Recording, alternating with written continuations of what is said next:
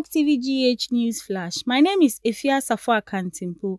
In the news, James, one of the contestants of the 2021 National Science and Mathematics Quiz, has passed away. James represented the Keta Senior High Technical School, Ketasco. They were the first school from the Volta region of Ghana to make it to the grand final of the competition. It is revealed that he was poisoned at the time he was set to travel outside for further studies. May his soul rest in peace.